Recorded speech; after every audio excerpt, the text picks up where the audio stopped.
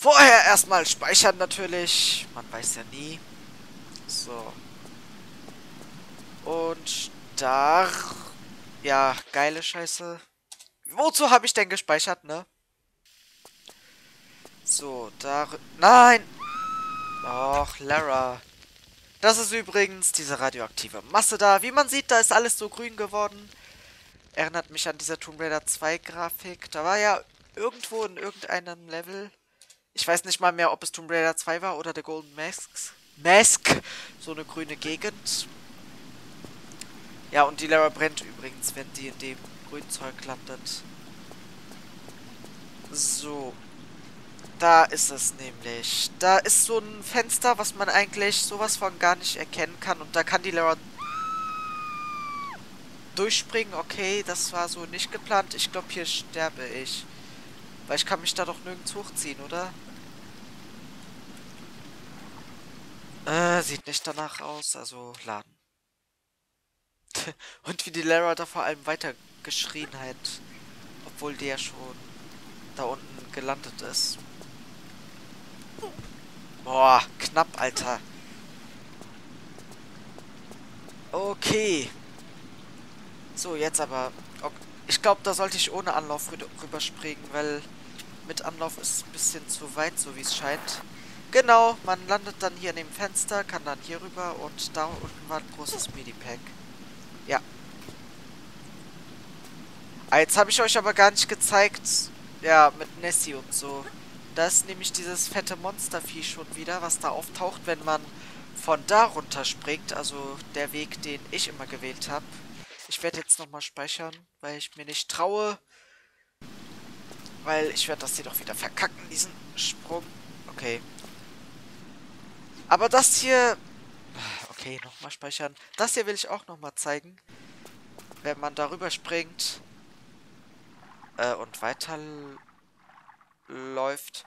Ach nee. Okay, das Vieh, das taucht scheinbar... Das taucht scheinbar doch auf, wenn man... Scheiße, ich... Laden. Das taucht scheinbar doch auf, wenn man von da oben runterspringt. Ich weiß nicht, ob ich das gerade schon mal gesagt habe. Und zwar dieses Ungeheuer von Loch Ness oder so. Dieses fette Monstervieh. Das taucht ja an der Stelle nämlich auf. Taucht das vielleicht hier auf, wenn ich so springe? Nein, okay. Dann werde ich das jetzt auch nicht weiter rumprobieren. Ich werde mir jetzt mal das Geheimnis holen.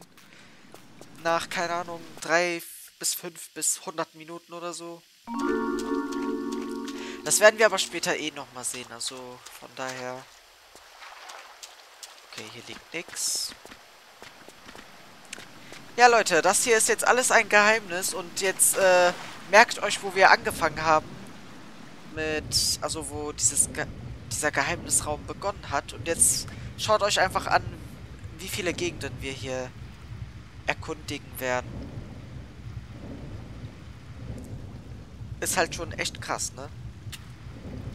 So, da lagen Fackeln. Ich habe keine Ahnung, ob hier noch irgendwo... Oh, Mann! Noch etwas irgendwo liegt, aber das werde ich mir jetzt auch nicht weiter angucken. Ich gehe jetzt mal weiter. Hier, schaut euch das jetzt an. Bam! Hier, da ist es nämlich, dieses fette Monstervieh. Und das tut nichts anderes, als einfach nur so Feuer zu speien sind von der Engine her genau die gleichen Dinger wie in Tomb Raider 3 in der vergessenen Stadt Tinnos in dem Feuerrätsel. Die feuerspuckenden Oppas da. Oh, jetzt kommt übrigens hier Music. Das mache ich mal laut. Äh, was das hier alles darstellen soll, das glaub, soll, glaube ich, irgendeine Basis sein von ich weiß nicht, ob man das so sagen kann, eine Militärbasis von Willard, die keine Militärbasis ist, sondern einfach nur, keine Ahnung, Waffenbasis oder so. Ach, schaut es euch einfach an. Ja, und ich durchsuche diesen Boden hier wieder mal haargenau nach Harpunpfeilen oder so ab. Ah, hier ist übrigens wieder das radioaktive Zeug überall. Das grüne. Aber da sterben wir zum Glück nicht, weil das scheint vertrocknet zu sein. Also wir sterben nicht, wenn wir es berühren. Oh, hier lag doch noch irgendwo irgendwas. Ja, die eigentliche Kammer, wo die Geheimnisse liegen, die ist ja nicht hier. Die wird später gleich kommen. Jetzt sah das voll aus, als würden da Harpunenpfeile liegen. Pfeile liegen. Ich weiß nicht, was gerade mit meinem Sprachtalent los ist. Also, jedenfalls ist sie gerade nicht vorhanden. Es ist nicht vorhanden. So. Egal, ich filme jetzt einfach weiter und ignoriere das ganze Zeug hier. Ja, wir sind hier in einer Art... Was? Oh. Äh, ja, da ist auch so ein Gegner, der uns offenbar gar nicht sieht. Egal. Töten wir den einfach. Wir sind hier in einer Art U-Boot drin, was hier gesunken ist oder so. Also wieder so ein Wrack. Oh, großes Minipack. Her damit. Jo. Was ist das für eine Karte? Okay, man erkennt sowieso nichts drauf. Was ist das? Okay, das soll wahrscheinlich das Ungeheuer irgendwie darstellen. Man erkennt ja hier an den einigen Stellen irgendwie... Ja, auf Karten oder so, so interessante Sachen. Die jetzt mit dem Spiel zu tun haben. Mehr oder weniger. So, wo komme ich denn jetzt eigentlich an? Ich glaube, äh, bei dieser zweiten Höhle, da... Die ist... Da! Gab, ach du Kacke, verdammt nochmal! Ey, das ist jetzt das dritte Mal, dass so ein Hund um die Ecke springt. Ja, die ersten beiden Male, die waren nämlich in London, in dem Level Eldritch. Wo da einfach so ein Hund um die Ecke gesprungen ist und... Also in dieser U-Bahn-Station. Wo ich mich in den ersten Malen, wo ich das gespielt hatte, auch übelst erschreckt hatte, weil... Weil Core-Design einfach gemein ist. Egal. So, jetzt sollten wir wieder in der einen Gegend ankommen, wo... Ja, genau, wo wir hier wieder am Anfang sind. Und ich frage mich gerade, ob ich da noch irgendetwas vergessen habe. Ja, ich denke mal nicht, weil den Distelstein, den habe ich ja schon. Das sollte reichen. Das Geheimnis habe ich. Und jetzt sollte ich ja zwei von drei Geheimnissen haben. Ja. Und ich weiß auch, wo das dritte Geheimnis ist. Also, alles ist gut. So, die setze ich nachher ein erstmal hole ich mir noch das, äh, den zweiten Teil davon. Beziehungsweise den zweiten Stein. Hier sind übrigens überall diese Flaggen da drauf. Was war das nochmal?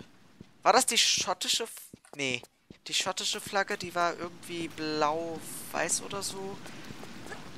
Äh, ja, keine Ahnung. Klärt mich halt auf, was das für eine Flagge ist. Ich gehe jetzt auf jeden Fall nochmal dahin. Jetzt bitte nicht verrecken, Lara. Danke. Äh, ja, der zweite... Oh, bin ich froh, dass das keine tiefe Schlucht war. Äh, der zweite Hebel, wie ich gerade sagen wollte, der ist ja da hinten bei dem einen kleinen Wasserbecken, wo ich die Brechtange gefunden habe. Und die Brechtange, die brauche ich, glaube ich, für das eine Geheimnis. Nee, warte. Noch ein bisschen hochklettern. So. Oh ja, das hat gereicht. So, darüber. Und jetzt war das wieder so eine Zeitsache. Also der Hebel hier, der ist auf Zeit.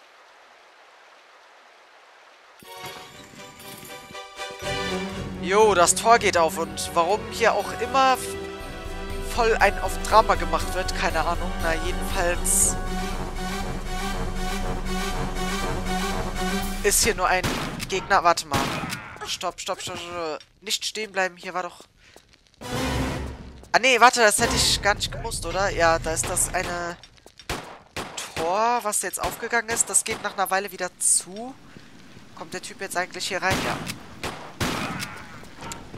Genau, das ist jetzt zugegangen, das Tor. Und das wird jetzt auch nicht nochmal aufgehen. Das ist nämlich ein Geheimnis. Deswegen hätte man sich hier beeilen müssen. Und jetzt werde ich hier eine voll geile Waffe finden. So, landet die Brechstange hier nochmal? Nein. Das heißt, wir brauchen sie nicht nochmal. Und hier finden wir Die MP5. Äh, war früher mal meine Lieblingswaffe, jetzt ist glaube ich die Desert Eagle meine Lieblingswaffe, weil die einfach... Äh, oder nee, ich weiß es nicht. Ich habe ehrlich gesagt, glaube ich, noch nie darüber nachgedacht, was meine Lieblingswaffe in Tomb Raider 3 ist. Apropos Tomb Raider, das hier soll, glaube ich, ein Grab sein. Wir sind hier ganz nebenbei mal wieder hier in einem Grab unterwegs gewesen. Oh, achso, nee. Jetzt dachte ich gerade, die Waffe von dem Typen wäre wieder etwas, was ich aufheben kann. Das sieht hier übrigens immer so aus, als würde man anbrennen, aber das ist nicht so. Hier sind übrigens auch wieder diese Hundestatuen, aber ich glaube, die erwachen nicht zum Leben. Sollten sie auf jeden Fall nicht, weil dann begehen sie quasi Selbstmord, weil kein Hund auf dieser Welt kann mich umbringen. Also kann Lara Croft umbringen. Und erst recht nicht die menschlichen Hunde hier. If you verstehen, was ich meine. Da ist ein Medipack. So, kann ich da hochklettern? Das sieht von hier so aus, aber von hier sieht das nicht so aus. Nee. Da wird auch nichts Wichtiges gewesen sein, denke ich mal. Okay. Hier war doch noch jede Menge Zeug. Äh, nee, Quatsch. Das ist die falsche Gegend. Das war nicht hier. Das war hier. Kann ich da hochklettern oder so? Ich weiß es nicht. Äh, diese Grabsteine hier, die werden wir übrigens auch ganz, ganz, ganz oft sehen in diesem Level. Hier auch in, in der fetten Version. In der mega mutierten Version. Wieso habe ich denn die Shotgun, äh, die Pistolen? Ja, offenbar, weil meine Shotgun leer ist. Egal, dann habe ich hier... Nee, Quatsch, warte. Die Uzis wollte ich erstmal leer ballern. Ich habe ja Ersatz, ne? Du hast mir Gewehrpatronen hinterlassen. Das ist nett, weil die mir gerade leer gegangen sind. Äh, ich muss aufpassen, weil hier war ja auch wieder Treibsand. Oh. Okay, die haben jede Menge Ausdauer. Das ist ungewohnt, weil ich äh, zurzeit auch Tomb Raider 2 Custom... Nee. Ja doch, Tomb Raider 2 Custom Levels auch, aber... Nee, eigentlich wollte ich auf The Angel of Darkness hinaus. Äh, dass ich das zurzeit auch nebenbei spiele und ja, da sind die Gegner halt sofort tot, wenn man die mit den Pistolen abknallt. Deswegen ist das hier halt total ungewohnt, ne? Ach, da liegt ja noch mehr Muni. Ab in Laras Rucksack damit. Ah, da vorne können wir uns übrigens später langhangeln. Da liegt auch das Artefakt da um die Ecke, falls man das von hier sieht. Ja, da oben, wo es so dampft. Da liegt das Artefakt, aber das kann man sich nicht holen. Äh, Quatsch, das Artefakt sage ich schon. Der andere Distelstein, meine ich. So.